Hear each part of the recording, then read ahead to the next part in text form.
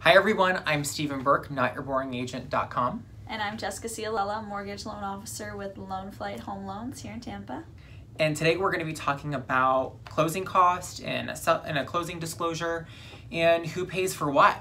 Yeah, what what are closing costs? What are closing costs? a million dollar question. so um, we're going to go in, in into it. And closing costs are something that is just costs that you have to pay in order to buy or sell a house. And it's important to understand buyers do have, you know, closing cost expenses, typically more line items to own the home, whereas sellers do have costs as well for selling a home. And despite the myths and everything that you might hear, the seller, the selling party, is actually the party that pays the real estate commissions both to the listing agent that's selling the home and the buyer's agent, so the agent that's representing the buyer. So that's important to understand. That's typically a seller's expense, despite what you may have heard. Rumors. so yeah, so the seller does pay the commissions for the buyer's agent and the seller and the listing agent. Um, as a buyer, you're looking at around two to five percent in closing cost of the purchase price. Of the purchase price. Um, and as a seller, you're looking at anywhere between five to ten percent, um, only because you're paying commissions. And a standard commission is going to be um, about six percent plus two or three percent additional for closing cost. So just make sure that that's kind of like a rough estimate to kind of go off of. Um, the thing you can do as a buyer's agent and as a buyer you can request your closing costs to be covered by the seller. So if you're purchasing a home and you just have enough money for a down payment, you can ask um, in your offer um, for the closing costs to be paid by the seller to help save you about 2% um, at additional out of pocket at a closing.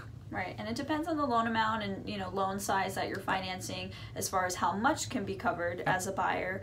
But typically you know you can it doesn't have to be a specific percentage it can be a flat you know flat, flat amount flat rate.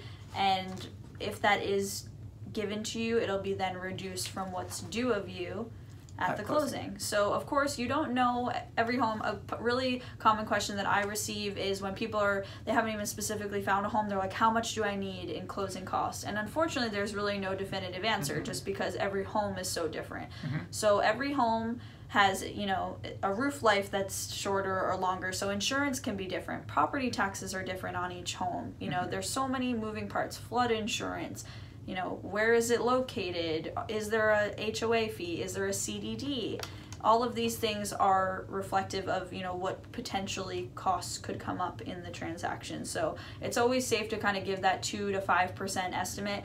I would say leaning closer to the 5% if you're in somewhere that has a flood zone, CDD, HOA fees, you know, higher price pointed areas, whereas lesser, you know, maybe lower loan amounts in, you know, an area with a low tax bill, no homeowners association, you'll kind of lean more towards, you know, lesser 2 to 3% range on top of your required down payment. So, um, what do you feel like? What are some common costs that you want to touch on that maybe some people don't understand and you want to help well, I think we're seeing right now interest rates are creeping up a little bit, and there's some things called mortgage points. Mm-hmm. And I like to, if we're on the cusp of someone trying to figure out their interest rate, you can kind of buy down um, your mortgage. So Jessica can explain that to you through mortgage points. Of course. So points are it's basically a percentage of the loan amount, mm-hmm. and um, now points they don't have to be paid for. You don't have to buy down your interest rate should nope. you decide not to. Some people actually take it in the opposition and they will raise their rate in order to help themselves with some closing costs. So if we're on a, you know, teetering scale and in a wonderful world, you know, 2% is the going rate today for a buyer like Steven. He's got, you know, 700 credit score, you know, minimal debts. So let's say he gets a 2% today, but he's really cutting it close with his, you know, cash to close. He needs some help with closing costs. He could elect to take a two, you know, and a half hypothetical percent I wish that would exist. To cover his closing costs or maybe he's really payment conscious or you know maybe he just wants an additional tax write-off to yep. buy down an interest rate and have that as a you know investment expense at the end of the year. You can buy down to a you know, one point seven five, a one, you know, one point six two five, whatever you should decide. And so anything below the going interest rate will cost you money, whereas anything above the going interest rate will credit you money towards your closing costs. So you have some options there as far as that goes. And typically, give or take on the loan size, you can expect every tier of they say every thousand dollars on a you know mortgage loan amount, your payment will probably give or take yield anywhere from like ten to 20 you know 27 dollars depending on loan size if we're within conforming loan limit range So some things to look look for um, when we get the CD, the closing d- disclosure, um, are some hidden fees that are going in there. Um, some things like it depends on what lender you're using, but I know at Jessica, there's never like an application fee, nope um, be or weary of the application fee. yes, those are some things that you can kind of dispute and kind of get a credit or get it removed to help save you some closing cost up front. Um, some things that you can't really change um, are the um, appraisal. It It's is what it jurisdicted by the appraisal management company, so that's kind of like a third party that Mhm. hires appraisers. So they give the lender the fee, the lender charges the buyer the fee. You'll see that on your closing disclosure. That is, however, a cost that is prepaid. So that you'll see that once you get you initially get a loan estimate at the start of the process. We disclose every fee that you could possibly incur up front. To then once you're down to the you know three days before closing, you'll get your closing disclosure and it'll show that you have already paid for that appraisal fee. So that'll be split off for you. So um, services that you cannot shop for obviously the appraisal the um, specific title work and things such as that as far as lenders policies owner policy things like that the title company really serves as a middleman Yep. in a real estate transaction they're you know protecting the coordinate everything. yeah, they're the coordinators. They protect the seller and the buyer. They're transferring the owner home ownership and making sure that it can you know change hands freely. I'm not going to buy Steven's house and then Steven's pool boy is going to come after me and say Steven never paid me a bill. You know, give me ten thousand dollars. Yes. You better not have. No. And that's why you have title insurance and you have things like that that kind of help protect you. Um, so those are other fees that you're going to see in the closing disclosure. You're going to see um, a credit report pool. Um, sometimes you know there's a fee associated with that. Sometimes you can kind of get it removed. It just give or take. It depends, and then you've got you know a typically you'll have either an underwriting or a um, processing fee. Just give or take. It depends on the lender on how they structure that. Mhm. Um, that's really just their cost to do the loan. Mhm. Then you've got you're going to prepay your escrow account, assuming that that's what you're structuring your loan to be as, meaning that every year your bills are just paid out through your escrow account that you've been paying into and you'll have a setup of your taxes and your insurance. So then a part of your closing costs is you have to pay into that account your taxes and your insurance. So every year you won't be hit with your tax bill because you've already Yep. been contributing to it every month. It's you know like an automated savings account Yep. per se. So it helps you there, save some money for you instead of having to come out of pocket. You know with the premium. So And then you have uh, we can do a whole nother video on doc stamps. Um, and what a millage rate is and all, All the other stuff. stuff. That's a whole nother separate video, but you'll see that um, on there.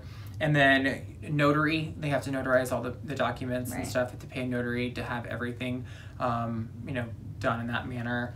Um, signed, sealed, and delivered. Yes, recording fees. So the recording fees are done by the title company. It records your deed, um, changes hands through the online search engine, or not online search, Through the county. through the county. Sorry. Um, and then we have the real estate commissions, of course, that are paid by the seller. Um, the buyers typically do not pay for any of the commissions. Right. Absolutely.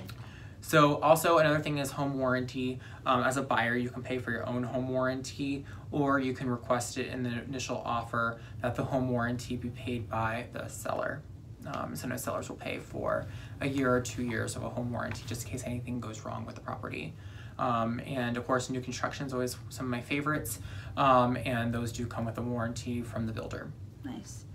And then, so at the closing, once you're ready to close, and the money that you wire before you sign off on everything, that will include all of your closing costs and your down payment minus anything that you've paid for already your earnest money deposit and your appraisal fee, any other, you know, inspections that you may have paid for, like a WDO for a VA loan, things like that, if you took a first time home buyer course.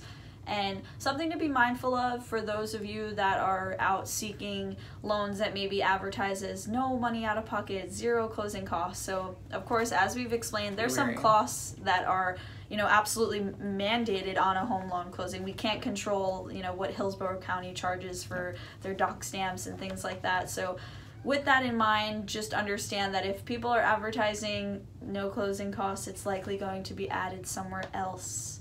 Perhaps yep. your interest rate, maybe not. But always, you know, keep an eye out for things like that. There's often, you know, more than meets the eye. And I always recommend, and Steven can agree, I don't typically recommend going down maybe in price because the price doesn't necessarily save them the money out of pocket. Yep. So some people are so hungry for a price reduction, but the price reduction probably doesn't get that buyer to a price point that they want payment wise.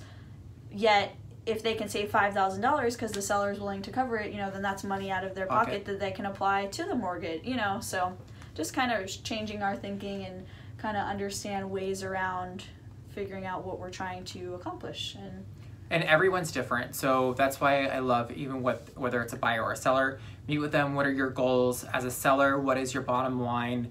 Um, are you did you just buy your house like a year ago? Are you maybe underwater? Um, what kind of closing cost can you offer closing costs? What's our bottom line?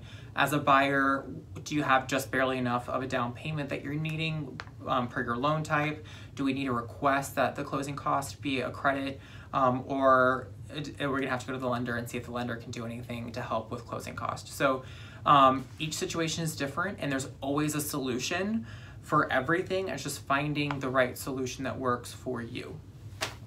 Perfect. So, absolutely. Anything else? I think we. I think we got it. Good. If you have any questions, just let us know. Please feel free to either message us, comment on our Facebook page, or find us on YouTube.